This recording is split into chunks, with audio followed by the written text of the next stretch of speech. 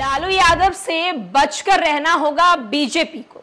क्योंकि लालू यादव की भविष्यवाणी कहीं सही साबित हो गई तो क्या होगा नरेंद्र मोदी का?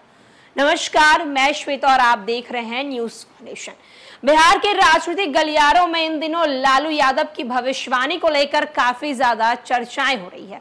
लालू यादव ने कुछ समय पहले बीजेपी को लेकर, बिहार में एनडीए सरकार को लेकर और केंद्र में बनी तीसरी बार नरेंद्र मोदी की सरकार को लेकर बड़ी भविष्यवाणी करती थी। लालू यादव ने कह दिया था कि अगस्त के महीने में केंद्र की सरकार गिर जाएगी। अब इसको लेकर बिहार में राजनीति शुरू हो गई है।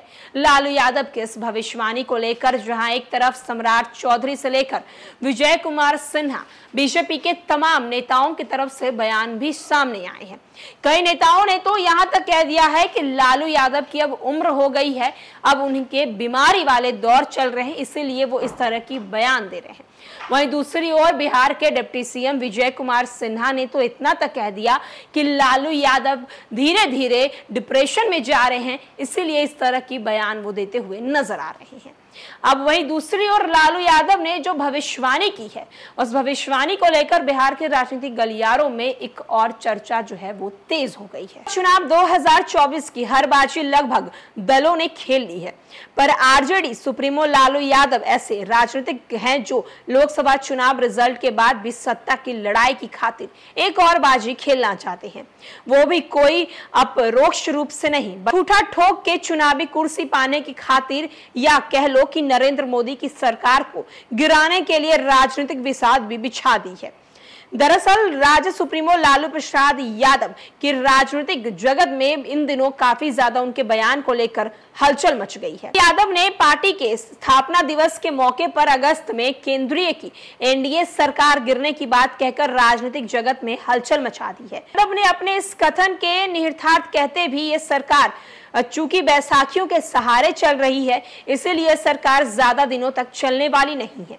यहाँ तक कि लालू यादव ने यह भी कह डाला है कि कुछ महीने बाद बिहार में मध्यावधि चुनाव होंगे तब तेजस्वी यादव के नेतृत्व में महागठबंधन की स्थिर सरकार बनेगी। सुप्रीमो लालू यादव के इस बयान के बाद राजनीतिक गलियारों में काफ़ी ज़्यादा हलचल मच गई है। एक तरफ़ कहा जा रहा है कि लालू यादव ये मानकर चल रहे हैं कि केंद्र में एनडीए की सरकार कोई अपार बहुमत वाली सरकार नहीं है। तो दूसरी ओर नीतीश कुमार और चंद्रबाबू नायडू जैसे महत्वाकांक्षी राजनीतिक हैं।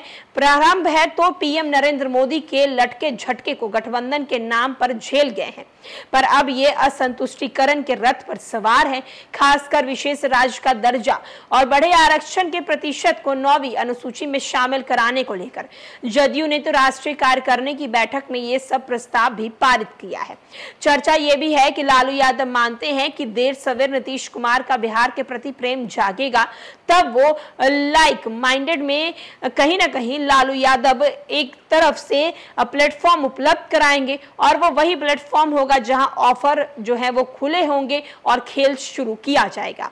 दूसरी ओर राज्य सुप्रीमो लालू प्रसाद यादव के बयान के बाद कहीं ना कहीं अब ये सवाल उठने लगा है कि आखिरकार लालू यादव ने जो बयान दिया है, इस बयान को लेकर बिहार की राजनीतिक गलियारों में इतनी ज़्यादा चर्चाएँ क्यों तेज है?